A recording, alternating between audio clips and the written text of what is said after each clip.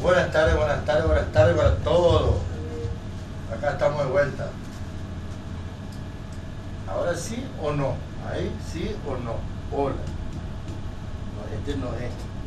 Su micrófono ya está abierto, ¿no? Hola, buenas tardes a todos los radio escucha. Es un placer de estar nuevamente con ustedes. Hoy, como todos los martes, Técnico presenta Hablemos de Cooperativas, un movimiento social y una empresa que todos debemos conocer. En Radio La Corneta. Un saludo muy especial de nuestro conductor, el licenciado José Yor, a, todo, a usted, a su equipo y a todos los que están compartiendo con nosotros este programa de educación cooperativa. Bueno, ya muchas gracias. Eh, la vez pasada ya me retaron, me dijo que le tengo que dejar hablar a usted porque yo no sé cooperativismo. Ya me, me, me retó mi señora. Sí, está tiene bien, razón. Tenemos, tiene razón, tenemos que seguir el curso, porque muchas son las personas que quieren saber. mandaron mensajecito y que le expliquemos un poquito sobre el curso, eh, qué consiste y cómo es la metodología de, de trabajo. Bueno, acá en la radio le hacemos fotocopia y le regalamos. Ah, bueno, muy bien, para todas aquellas personas que entonces, que están venir. interesadas los fascículos que le vamos, que le estamos dejando cada martes que estamos aquí. Sí, sí, bueno, acá tenemos el boletín número 3 ya, es decir, los anteriores, el- los anteriores que usted había eh, entregado ya, que estaba diciendo a uno interesado, así que esperemos Sí, vino un, un interesado, sí. Sí, bueno, entonces... Mi señora la que guarda como buen docente, le hicimos la copia y le entregamos. Y acá tenemos en el boletín de hoy, queremos hablar la, leer la editorial y comentar un poco, donde el licenciado José Yor habla y acerca del cooperativismo. Dice, el cooperativismo, una alternativa económica, social y cultural, introducción hacia un diagnóstico general. El diagnóstico es una resultante que obtenemos luego de observar tal y cual se nos presenta la realidad social y económica. Para los cooperantes no debe bastar observar la realidad tratar de adaptarnos a ella. No. Los cooperantes tenemos el mandato histórico, al decir de Paul Lambert, de esos tejedores, esos ganapanes, esos obreros que en su mayor parte ni siquiera habían ido a la escuela, los pioneros del Lutero. Ellos fueron los que realizaron una síntesis genial de un sueño audaz y del espíritu práctico que es lo que da lugar a las grandes obras. Tenemos el mandato entonces no solo de observar, sino de sobre todo de transformar el mundo para que sea más humano y más justo. Un principio cooperativo poco recordado en estos días es el que enuncia la aspiración de conquistar y cooperativizar la organización económica y social del mundo. Este primigenio principio rondardiano nos define inequívocamente que el cooperativismo es un sistema social y económico que posee sus propias herramientas, método e ideas de cómo resolver los problemas derivados de la distorsión estructural de un modelo que se nutre de la desigualdad permanente. La cooperación como sistema político, económico, social surge en la etapa de la civilización humana como una reacción a las injusticias y decadentes condiciones que deshonran a hombres y mujeres en su condición de especie humana. La integración entre cooperativas ya fue prevista por los fundadores que en la primera hora enfrentan al naciente capitalismo en su etapa industrial. Trabajo realizado por el profesor licenciado José Yor, afirmemos la identidad cooperativa, apuntes para el debate. debate. En la fraternidad, un abrazo cooperativo. Esto es la editorial donde Sí. comenzamos con el, nuestro curso de, de lo que tenemos eh, más el- también para colgarlo en la página. A las páginas. ¿sí? Lo- todo lo que vos me envías a mí Sí. sale en el diario. Se dieron cuenta de usted, o sea, yo Sí, le envío sí, y ahí levantamos todos los cursos. Vamos a tratar, después estamos viendo en el mismo diario quede ya ahí el curso Eh, completo en un solo lugar. Eso sería lo importante. Para que la gente, eh, pero acordate que recién también estamos arrancando con el diario y, eh, y yo tengo una docente allá en la punta que dice que la educación duele. ¿eh? Así es. Así que despacito vamos a Un ir. proceso largo y doloroso porque es una violencia que se ejercen sobre las personas, más todavía teniendo en cuenta que vivimos dentro de un sistema capitalista muy agresor a la condición humana. Entonces, una de las preguntas que nos hicieron en qué consiste el curso, cómo es la metodología del curso. Bueno, eh, los contenidos, el programa que se va a desarrollar, un programa activativo, porque a veces por las preguntas y las inquietudes de los que nos están compartiendo con nosotros este programa, eh, nos hace salir un poquito del tema. Bueno, eh, los contenidos ya están en el portal y nosotros vamos a ir más adelante, se van a ir presentando actividades que eh, al que está interesado en aprender y en estudiar, porque tiene que resolverlas y mandarlas. Y vamos a debatir sobre esa respuesta. ¿Por qué esto? Porque si no hay una teoría y una doctrina cooperativa, no podemos hablar de cooperativa. Es cualquier cosa, menos una cooperativa. Para que haya cooperativa, para que haya cooperación, tenemos que hablar de historia, tenemos que hablar de doctrina, porque eso es lo que hace a nuestra identidad como cooperativa. Entonces, justamente eso es lo que empieza con el editorial, el profesor George, eh, hablando sobre la historia y la doctrina, que es el eje medular.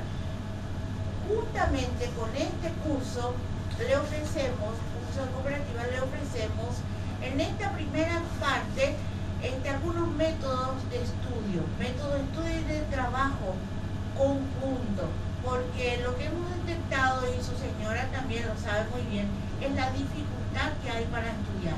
Es fácil memorizar, pero estudiar reflexivamente y luego hacer una teoría de lo que eso se estudia, vincularlo a la realidad y aplicarlo, eso cuesta muchísimo, no tenemos esa formación. Entonces, este, ahí damos una pequeña introducción de un estudio grupal eh, justamente eh, entrando en la página van a poder, este, computadora, vía computadora van a poder ir resolviendo los temas. Sí, porque eh, yo les cuento una anécdota, ¿no?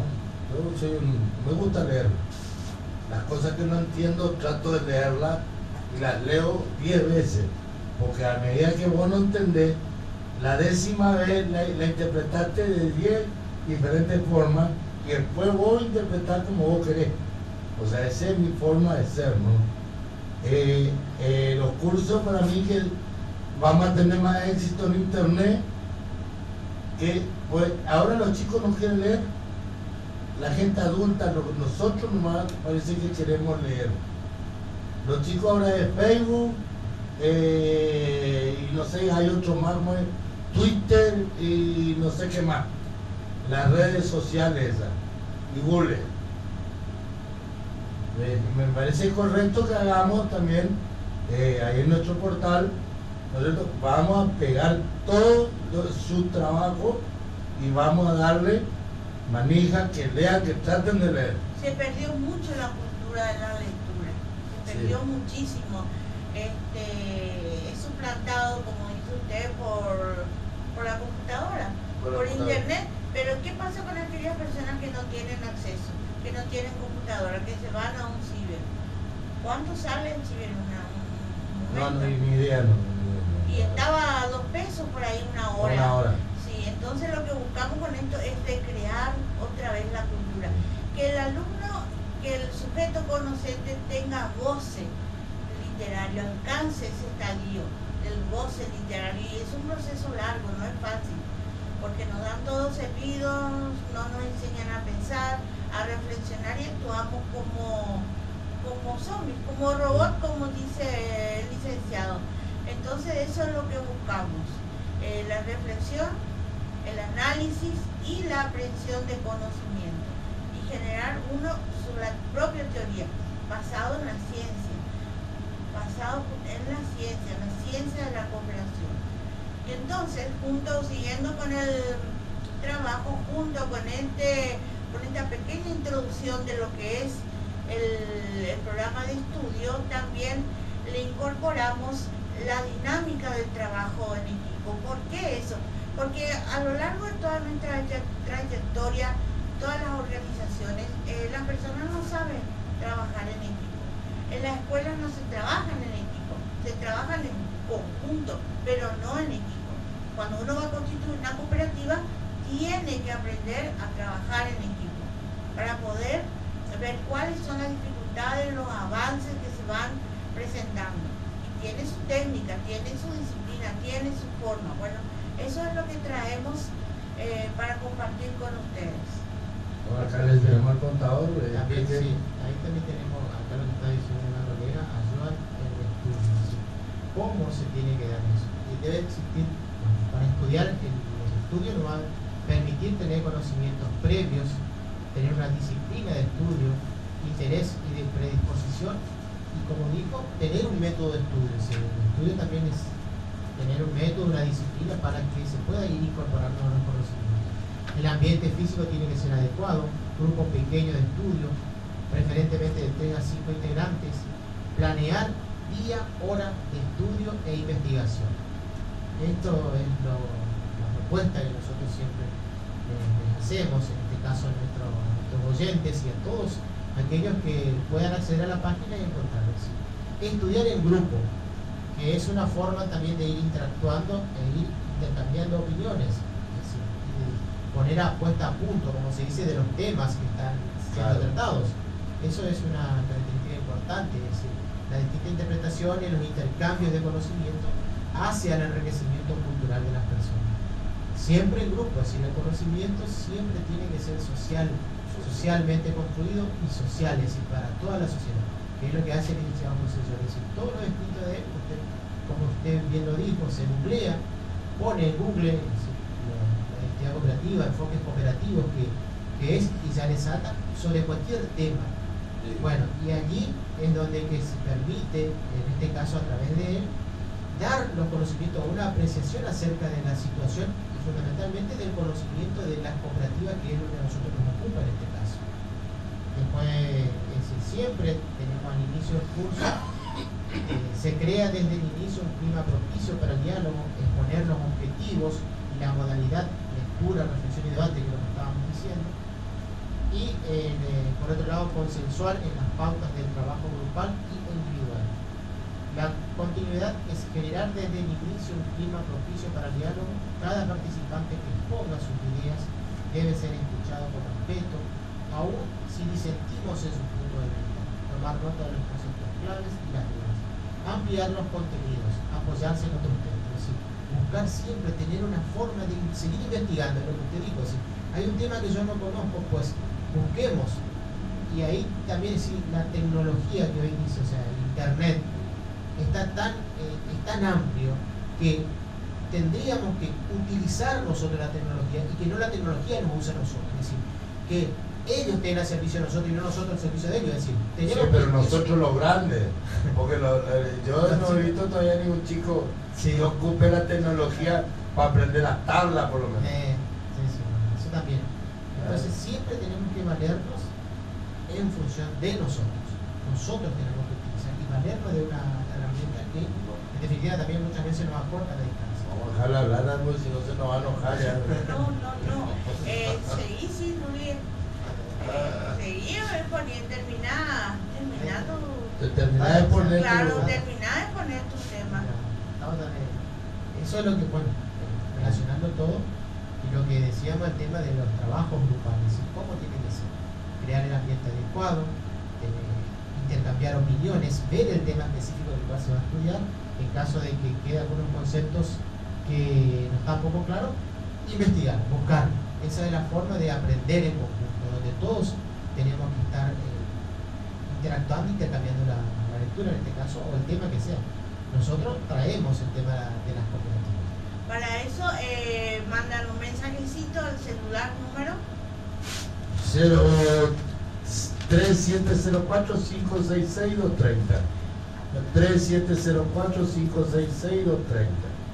¿De dónde es el celular? Acá el mío. La corneta. La radio La Corneta, sí.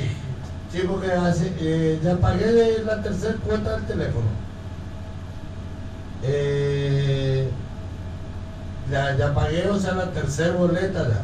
Pero todavía la línea telefónica no me llega a mí. O sea que cualquier momento me junto con Don George, el, el que tanto le, le, criticó a Ornet, yo le iba a dar telecómite. Sí, nosotros ya le criticamos a Telecom y, a Y bueno, este, siguiendo con el curso, que quede entonces eso. Nosotros entregamos el material, el material tiene que estar a disposición de ustedes en, el portal Radio La Corneta.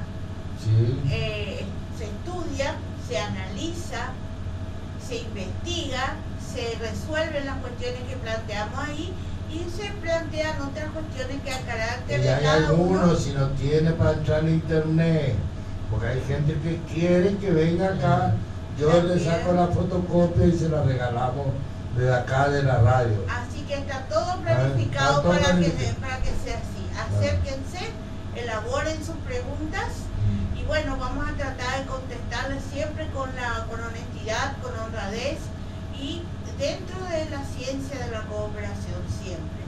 Y el otro tema es que lo que buscamos con la educación cooperativa para que eso quede es no eh, acumular contenidos, memorizar los contenidos. Esos contenidos tienen que ser de base sustento para ir elevando nuestro nivel cultural y cognitivo y para ir ampliando nuestra reflexión nuestra teoría. Eso es lo que nos va a permitir. ¿Y dónde lo vamos a aplicar esto? En nuestra vida cotidiana, diariamente.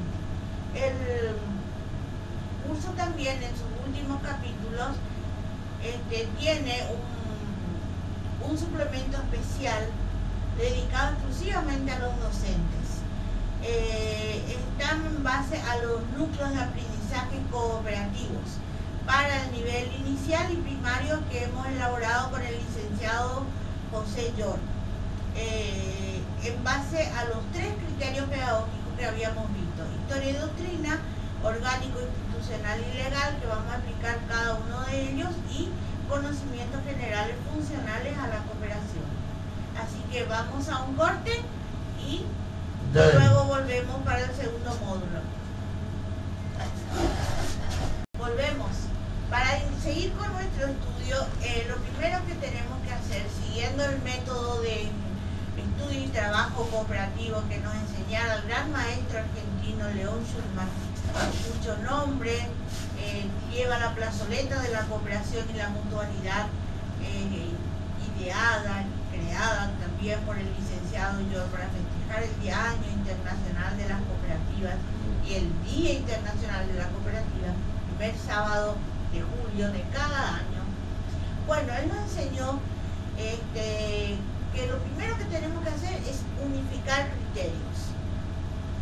Dentro de esa unificación de criterios implica ponernos de acuerdo sobre determinados conceptos que vamos a ir tocando. Aquí en el contador nos va a hablar de los principales conceptos de la educación cooperativa para partir de ahí cooperación, cooperar y cooperativismo y cooperativismo tenemos distintos conceptos que hablan de cooperari, cum más operari, que significa trabajar con. Por otro lado, cooperar significa trabajar con otras personas que procuran de su objetivo común. Nace de una actitud natural del hombre, el de ser social. Por otro lado, cooperación es el ejercicio o la consecuencia de cooperar la acción o efecto de dos o más personas que colaboran entre sí para la realización de una tarea común o la obtención de una misma finalidad. Por otro lado, ya tenemos las cooperativas, ¿ya? Es decir, cómo se va a ir materializando estos conceptos de cooperar, cooperación, dónde se va a dar. Y la ley 20.337 en su artículo 2 dice, son entidades fundadas en el esfuerzo propio y la ayuda mutua para organizar y prestar servicios tiene un carácter social, que es la de humanizar la economía, impulsar una sociedad más justa y equitativa, y un carácter económico, que es una empresa sin ánimo de lucro, con gestión democrática, participación en las finanzas. Y cooperativismo, hablamos de que es un modelo o sistema que posee una doctrina de armonía que considera a las cooperativas como forma ideal de organización de las actividades socioeconómicas de la humanidad. En conclusión, la cooperación es el sistema educativo económico que bajo formas de agrupaciones sociales constituidas. Intuito personae persigue el logro de la satisfacción de las necesidades de sus integrantes en forma de eliminación de factores indirectos de incidencias con sentido de solidaridad, sin desmedro de la individualidad de sus componentes a cuya elevación educativa debe proveer en la misma o mayor medida que a su bienestar económico, debiendo para ello sujetarse siempre a los principios doctrinarios que rijan la materia en un momento y un lugar dado. Las agrupaciones que integran el sistema son las sociedades cooperativas. Esto es un concepto que escribiera eh, Julio Kesselman, las cooperativas. Y acá tenemos los distintos conceptos, eh, amable audiencia, de lo que es el, el cooperar la cooperación, la cooperativa.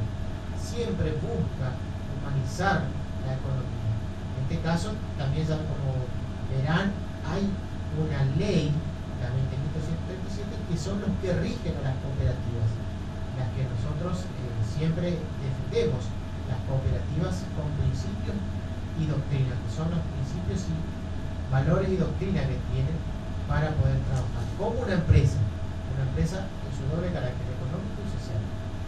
Sí, y vamos a ir desmenuzando un poquito los conceptos hablamos de cooperar. Hablamos de cooperar. Cooperar eh, etimológicamente deriva del latín y es trabajar con otro. O sea que para cooperar necesitamos dos personas. Dos personas que bajo el lema del esfuerzo propio y la ayuda mutua eh, hacen su trabajo y recogen el fruto de su trabajo, son dueños del producto de su trabajo lo comercializan y recogen también ese, ese dinero, digamos, eh, ese beneficio, ese excedente de su trabajo. Cuando hablamos de cooperativa, ¿de qué estamos hablando? Estamos hablando de una empresa. Una empresa que tiene que tener eh, sus órganos sociales de actuación, sus normas legales con las que se tienen que regir, están contenidas en el estatuto, sus reglamentos internos, pero por sobre todas las cosas lo que tienen que tener es el capital cooperativo. Señor eh, Varela, cuando nosotros hablamos de capital cooperativo, estamos tocando dos aspectos. El capital económico, el capital financiero, que son las cuotas sociales que cada uno debe aportar para constituir una cooperativa y estamos hablando fundamentalmente del capital moral del cooperativista. Habíamos visto que para ello tenemos que formar al hombre cooperario y para formar nuevamente nos vamos a conocer lo que es la cooperativa. El colega había dicho eh, que tiene dos doble carácter, económico y social. ¿Y por qué? ¿Por qué económico? ¿Por qué social? Económico, realiza todas las actividades económicas que cualquier otra empresa. Compra, vende, transa, distribuye sus excedentes en forma de retorno y reinvierte otra vez. Está, se desenvuelve dentro de un mercado competitivo y agresivo a su propia naturaleza y a su propia esencia. ¿Y social por qué? Porque a través de este mecanismo de la retribución del ingreso, de su retorno, eleva la condición de vida de todo el asociado y de su comunidad, porque hay un principio cooperativo, un principio estratégico del cooperativismo que es responsabilidad con la comunidad. No puede existir una cooperativa aislada, escindida de su comunidad. Debe integrarse en ella y debe volcar a ella sus, eh, sus beneficios. Hablamos también de que la cooperación como tal nace con el hombre mismo, pero la forma cooperativa de, organizar empresarialmente, eh, eso tiene un punto, eso tiene un punto de, origen. Y ahora él nos va a leer, nos va a explicar el contador por qué eh, surge, eh, por qué surge y en qué condiciones surge la cooperativa de hotel ahí nos tenemos que remitir al aspecto histórico, es decir, dónde dónde surge y cómo surge. Eh, y acá hacemos una breve reseña del surgimiento del cooperativismo. El cooperativismo es un movimiento social y económico desprovisto de toda idea de lucro, fundada en la solidaridad. No hace distingo de ideas políticas, raciales, de credo, de nacionalidad o clase social. Este movimiento se ve concretado en la sociedad mediante el funcionamiento de la entidad cooperativa. Ahora debemos hacer un esfuerzo no muy grande para realizar mentalmente un viaje a la vieja Inglaterra del siglo XIX y ubicarnos en ese contexto histórico y específicamente en lo que se denominó los 40 años de hambre, que asolaron a la Inglaterra desde 1804 hasta 1844. Y no es casual, la última fecha nombrada es la fecha precisamente en que nació la primera cooperativa tal cual se lo conoce ahora. Pero, ¿cuál era el ambiente económico, social y político en el que estamos ubicados? Estamos inmersos en lo que se dio en llamar la revolución industrial, basada en el uso tecnológico de la máquina a vapor al servicio de un proceso industrial que conmovió a toda la vida del mundo. Acá hacemos un pequeño, vamos a hacer una pequeña reflexión, es cierto, es decir, ¿dónde surge y por qué surge?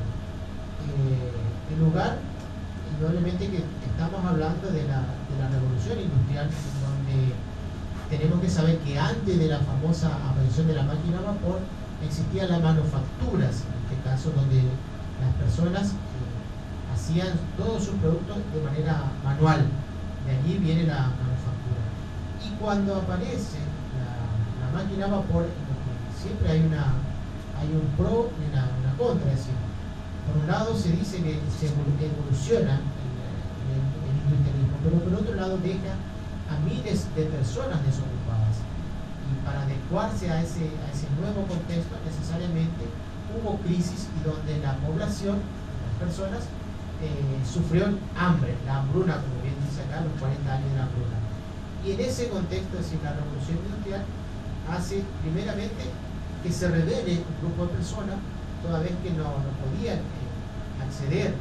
Y más allá también veíamos cómo las personas, las grandes urbes se iban, se iban eh, las aglomeraciones, es decir, todas las personas iban a la ciudad, que es lo que pasa actualmente también. Es decir, toda la gente del campo viene a la ciudad y se crean los famosos conglomerados, los barrios populares, donde los problemas siguen existiendo.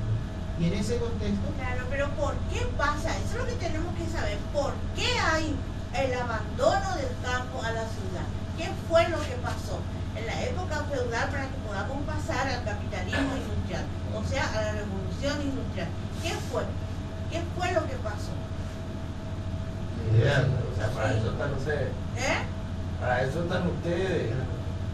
Claro, nosotros preguntamos para que algunos manden su mensaje y... A, 3704 56 6230 otra vez, por favor, repetimos. 3704 56 62 30. Claro, algún profesor de historia eh. Eh, que quiera colaborar, porque si no nos vamos a convertir en un monólogo, vamos a venir a hablar, a hablar y nos va a ver la interacción con las personas, pero sí le vamos a dejar un... Pero podemos, porque en otro programa, podemos, o sea, sobre la revolución productiva, industrial y productiva que usted me está hablando, sobre el campo. Tenemos un amigo que es ingeniero agrónomo Capelletti, que, que, es hijo de chacarero, o sea, se crió dentro de chacarero y sabe exactamente lo que usted está preguntando. Le podemos llamar en otro programa para que la gente le explique también. ¿Cómo no? Muy interesante su aporte. ¿Eh? Y muy importante, sí, porque eso es lo que buscamos, la, la interacción para que se dé un nuevo sistema de relaciones, que es la cooperación entonces brevemente nos va a contar por qué pasa eso, por qué se abandona el campo y se van a las grandes fábricas. seguimos acá con el contador. Sí. Tenemos entonces una primera referencia de lo, que, de lo llamado globalización económica. Las máquinas despojaron de sus tareas a miles de hombres de los talleres artesanales. La agricultura es suplantada por la cría de ovejas, lo que da por resultado una inmensidad de desocupados y hambrientos. El sistema político-económico imperante era el mercantilismo en su última fase, emergiendo de lleno el capitalismo. es decir, el liberalismo económico con su lema dejar hacer, dejar pasar. El primero de ellos referidos a la producción y el otro a la comercialización. Ese ambiente produjo gran convulsión social a la que asistieron mediante debate filosófico, doctrinario, variada propuesta para superar el padecimiento de miles y miles de hombres, mujeres y niños. Así, algunos sectores propusieron soluciones políticas a través de la participación de los nacientes partidos, otros propugnaban la abolición del gobierno por medios violentos, otros la defensa orgánica de los obreros mediante el esfuerzo industrial y finalmente aquellos que propusieron por medio del esfuerzo propio y la ayuda mutua organizarse empresarialmente bajo la óptica solidaria. Y aquí es donde aparece eh, los pioneros de Rocktail. Así es. Y vamos a recordar un poquito para la reflexión. Después viene la investigación en la época feudal, ¿cuál era la característica de la época feudal? Grandes extensiones de tierra en poder de los señores feudales. Eran los propietarios, ¿verdad? Grandes, muy grandes extensiones. Y, y los, este, y los siervos y vasallos que trabajaban para el señor. Ese era el método de producción y fundamentalmente sustentado en la ganadería y la agricultura. Luego eso cambia se transforma y pasamos a otro estadio. ¿Cómo hace? ¿Qué fue lo que, lo que digamos, dinamizó ese proceso? Eh, la invención de las máquinas a vapor. Eh, se crearon grandes fábricas y nace una nueva clase social, que es la clase de la burguesía. Y nace un nuevo, una nueva clase social que es el proletariado, que son los obreros. De pasar de ser este, siervos del señor feudal pasaron a ser eh, obreros y trabajadores de la fábrica. Antes. Claro, antes que antes trabajaban la tierra para el señor Porque ahora con sueldos que tenemos seguimos siendo esclavos, hermano. Sí, somos ¿Eh? los esclavos del tercer milenio. El tercer, somos esclavos del el, profesor. Sí, así mismo ¿Eh? dijo él, somos los esclavos. Eso fue lo que pasó. Y cuando nosotros hablamos de fuerzas productivas, sí del agotamiento. Estamos hablando, entramos dentro del campo de la economía, Economía cooperativa. Pero vamos a remontarnos a la base de Adam Smith, que fue el padre del liberalismo. Es el padre del liberalismo. Él dice, él hablaba de un factor llamado tierra, que es lo que generaba renta. El que tenía la tierra producía, le generaba renta. Hablaba de un factor llamado capital. El capital ¿Qué pasa? ¿Qué genera? Cuando vos pones tu dinero en el banco, no por supuesto tu salario, sino buena cantidad de dinero. Si no te agarra el caballo con el colgadito. No, no, no te va a agarrar. Produce interés. Ah, porque los grandes capitales siempre están protegidos. Sí. Ese es el tema, los grandes capitales están protegidos. Bueno, el capital produce interés y el trabajo produce salario. Claro. Bueno, a esa es la idea de, de Adam. ¿Qué es lo que generaba, para qué es lo que generaba para él la ganancia? Generaba la tierra. Él venía de una formación de los fisiócratas, sustentado fundamentalmente en la tierra. Con el paso del tiempo se agrega un elemento, que es la organización. La organización nos da a nosotros el dominio de esos factores. Eso es, las grandes empresas tienen su organización por lo tanto tienen el capital, tienen el trabajo asalariado, tienen los recursos naturales, la tierra, todo eso en poder de quién? De unos pocos. Bueno, ese esquema se llevó a la fábrica, en donde las fábricas eran las que generaban el, dinero y daban el trabajo, el trabajo asalariado. Abandonan su pequeña parcela, van allá, se crean un, un cultivo de analfabetos y personas marginales, sin techo, sin comida, desnutridos, mal alimentados, con muy poca injerencia del Estado en ese entonces en las cuestiones económicas. Entonces se subleva y se crean tres fuentes, tres corrientes. Eh, las cooperativas como una nueva forma de ver a la empresa, al hombre y a la sociedad. El socialismo el socialismo y el movimiento cartista. El socialismo en defensa de la clase trabajadora, luego los gremios, donde su función era el concertar convenios eh, para mejor salario de las personas. Bueno, antes. Ah, ah, antes. Usted me está hablando cuando los gremios claro. peleaban por el trabajador. Así es. Ah, no lo eh, ahora. No, no, ahora, el, ahora el gremialismo social, este, fue muy subida por el liberalismo. Y los gremialistas lamentablemente se dedican solamente a la parte salarial, no así a la reivindicación profesional. Bueno, en ese contexto altamente agresivo nace la cooperativa, donde su eje central eran los valores morales, defender el magro salario de los obreros, en donde de ser empleados pasaron a ser cooperarios. jefe de su propia empresa. Exactamente. No hablamos de dueño porque lo contrario a dueño es el amo. Y eso se aluma. jefe, nosotros somos todos jefes acá. Todos, todos cooperarios, exactamente. Entonces se anula la explotación. Claro. Se anuló la explotación. Entonces, ¿qué fue lo que pasó ahí? ¿Qué fue lo primero que hicieron los pioneros? Se dieron cuenta de que eh, estudiaron la realidad cuál se presentaba en Tararversa, vieron otras empresas, otras organizaciones, otros intentos que hubo, y dijeron, bueno, acá para poder tener unidad de concepción, para poder tener nuestra identidad que nos diferencie de los demás, tenemos que capacitarnos, tenemos que educarnos. Y crearon sus reglas morales que están establecidas en los subestatutos. Hasta hoy, fuertísimas reglas morales y sanciones morales y disciplinarias contra esa infracción. Contra cualquiera que infrinja eso. Crearon su casa de templanza. ¿Por qué? Porque los, hombres, los trabajadores varones, eh, no eran contratados por, por las fábricas. Entonces la autoestima, fíjense de aquel entonces, bajó muchísimo y se dedicaban a tomar.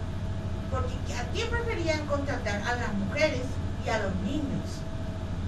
porque era más barato. Eran más baratos y más, eh, eran más, más explotados. Eh, eh, o sea, hacían más caso, digamos. Sí, era más, era más débil. Y las mujeres más débiles y los para chicos... No, para no abundar. Abundar en detalle. Fíjense que a los niños le utilizaban para meterse en los engranajes, arreglar los, los engranajes de la fábrica. Y si morían este, o se lastimaban, eh, no había sanciones de ningún tipo para el empresariado. Como hasta ahora en muchas empresas. Así es. Y entonces eh, crearon la Casa de la Templanza. ¿Qué era la Casa de la Templanza? Una, un lugar, una casa, una pieza en aquel entonces donde los hombres aprendieron a no tomar.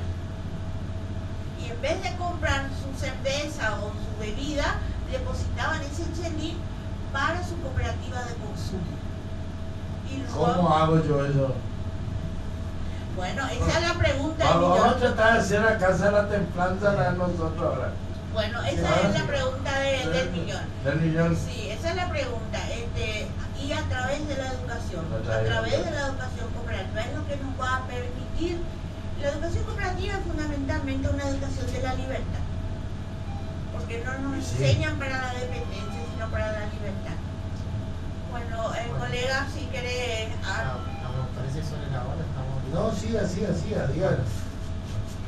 Entonces, Hay problema con la hora. En diciembre de 1844 se fundó Rochdale, la, la Rochdale, eh, en Inglaterra, con 27 hombres y una mujer, tejedores de lana, la primera cooperativa basada en principios, organización, método y su producción histórica. Hola. A decir por Lambert, yo nunca puedo, pese a la frecuencia con que se evoca a los pioneros, pensar en ellos sin sentir por ¿Cómo amigo? Estos tejedores ganapanes, obreros, en su mayor parte ni siquiera Hola, de la escuela, fueron los que realizaron esta síntesis general de un sueño audaz y un espíritu práctico, que es lo que da lugar a las grandes cosas. Las cooperativas o el almacén de los pioneros era el consumo. Además, la de carácter de trabajo surgieron en Francia y en Alemania de ahorro crédito, aumentando constantemente diversos tipos de cooperativas que abarcan totalmente la vida económica, social y cultural del mundo. Así, el surgimiento del cooperativismo tiene su raíz en los males de un sistema injusto que pretende mantener la desigualdad. Es decir, el cooperativismo es la reacción contra la centralización de la economía del. Así es. Eso es lo que justamente estábamos explicando ahora para eh, poder compartir conocimientos socialmente relevantes y que hemos adquirido a lo largo de toda nuestra formación de la mano del licenciado señor. Eh, no sé, ¿querés agregar algo? Vamos finalizando el programa. Entonces, eh, vamos...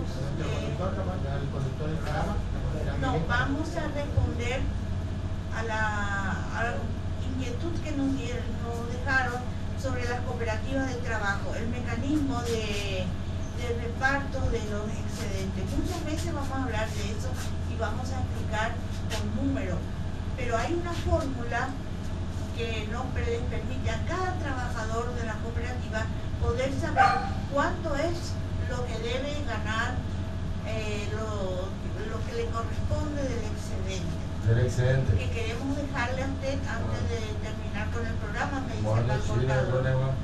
Eh, o sea, eso sería la cooperativa como tiene que ser. Como tiene que ser. bueno. Eh, o sea, nosotros estamos hablando de la cooperativa como tiene que ser, no la tutelada esta... Incluso las tuteladas se pueden regir, deben regirse por Pero acá la tutelada bueno, pero ahí... te dicen vos ganás 1200, te callado, te echamos.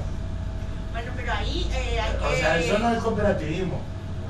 No, no es cooperativismo, pero ahí es donde la responsabilidad de cada uno de estudiar, de fortalecer su carácter y de seguir, porque todas las cooperativas no hay educación cooperativa, nos vamos a estar encontrando siempre con el estamos, Estoy viendo a ver, Buenos Aires, un primo, ustedes no saben el desastre que tengo armado.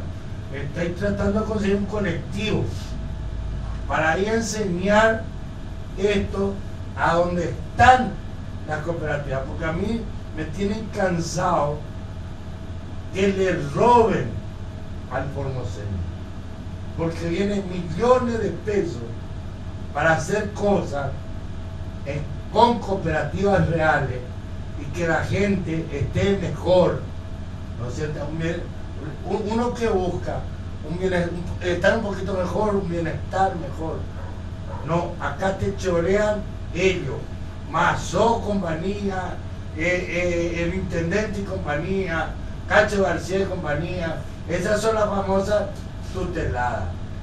Dios quiera nos llega a ayudar un primo que tengo, nos va a conseguir un colectivo, le vamos a cooperativismo y vamos a salir, así como salimos acá, vamos a salir a los barrios, a donde están las cooperativas, para enseñarles.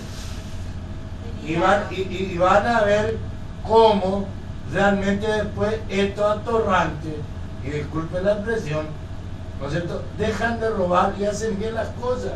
Porque si nosotros ¿no es cierto? El formoseño. Yo soy, no soy formoseño, pero vine a los siete años. Tengo seis hijos formoseños. ¿No es cierto? Nosotros los que vivimos en Formosa, los que queremos Formosa, llegamos a ser dos cooperativas que funcionen. Formosa pasa a ser una de las provincias más pujantes del noroeste. ¿O? Usted sabe que el estatuto, al artículo 1 de la ACE, de la, que es el, organismo que nuclea todas las cooperativas del mundo, dice que el objetivo estratégico de, la, de las cooperativas, del cooperativismo, es transformar la estructura económica, social del mundo. Solo que lo hacemos con la razón, la educación. No por la fuerza. No por la fuerza, con armonía y paz. Eh, ¿cómo vamos a transformar la estructura socioeconómica del mundo? Es simple, poniendo los factores de la producción que habíamos hablado hoy, las fuerzas productivas y la fuerza del trabajo en poder de quienes la trabajan, que son sus verdaderos. Ojalá. Ese, esa es mi intención con Entonces, ustedes. con una cooperativa u otra y luego formaremos el mercado, el mal llamado mercado, sino formaremos la economía cooperativa. Yo la fíjense, yo que conozco, ustedes saben que yo soy periodista investigativo, me gustó el tema del cooperativismo porque muchas horas discutimos con Raúl y veía notas y leía notas de Don George ahí en, el diario Opinión, ¿no? Sí, sí. Eh, nosotros en Formosa no tenemos perejil. Le compramos a Mendoza. No es una vergüenza eso. Acá No, tenemos perejil. El único que hace perejil es Don Soria, que es allá del 210, y prefiere venderle al Chaco para no coimearle, porque yo tengo un reportaje a, a los inspectores municipales de nuestra ciudad. Le venden perejil al Chaco. Formosa, no fabricamos nada, ni perejil. Con eso le digo todo. O sea, que el, el- el perejil a nosotros sale más caro que la sopa. Por eso, en, en todo lo que yo le pueda ayudar, en todo lo que podamos lograr, y si tengo que salir con usted a los barrios a hablar con la gente, voy a salir también. Muchas gracias, señor, señor Valero. No entiendo gracias. muchas cosas, pero me apasiona todo lo que ustedes hicieron. Y que en esta provincia, que le tenían que haber premiado a Técnico, que le tenían que haber, no sé, sacado un sombrero. A Don George le tenían que haber hecho una plaza por los libros que han hecho y a todos ustedes, sus colaboradores. Y lo primero que hicieron, con perdón de la palabra, los cagaron. Yo soy muy temperamental. No te No, no, quien no. Usted, usted sabe que yo soy No, muy eh, temperamental. Eh, por ahí se, se me, eh, eh, dice uno que se me sale la cadena, pero prefiero que se me salga la cadena y no ser ladrón como él. Yo duermo tranquilo en mi casa y inculco a mi familia en el trabajo, inculco el estudio. Así es fundamental el estudio porque eso nos va a elevar nuestra, de nuestro estadio animal, nos va a elevar a un estadio de persona. Y bueno, señor Varela, eh, Luis, Bueno, nos eh, contás un sí. poquito cuál es la fórmula para que ellos vayan teniendo en cuenta, después lo vamos a ir desglosando. Sí, Sí, sí, todo el, hay un ingreso, es decir, todo lo que ingresa por el trabajo, se tiene que deducir los costos, lo que, lo que se llama, se deducen los costos, y ahí hay un excedente. entre Primero cubrir todo, pero siempre es un precio provisorio todo lo que se le, un anticipo, una especie de anticipo, Claro. porque no, es decir, uno no sabe si hubiese sabido cuánto es el importe del costo que va a tener un trabajo, obviamente que ya se le daría todo. Pero la intención de la cooperativa es justamente eliminar ese intermediario. Siempre intermediario le, le pone, le da un, un pequeño plus para, eh, para poder tener más ganancia. En este caso, eso es lo que se va a eliminar. es decir, se, deducen todos los costos y va a quedar la ganancia, porque siempre queda una- un excedente. Y ese excedente es lo que nosotros denominamos excedente repartible. Vía retorno, es decir, después eso va a ser en proporción al trabajo que realiza cada asociado en la cooperativa. Eso Claro. es lo que brevemente podemos hablar, después solamente después con la Con computadora el número. Vamos a hacer un número. Con la guía de los principios y la fuerza de la cooperación nos despedimos entonces hasta el martes. Hasta el martes que viene, gracias por venir. Ustedes saben que siempre vamos a estar acá. Justo me encontraron eh, medio, tardamos un poquito porque eh, hay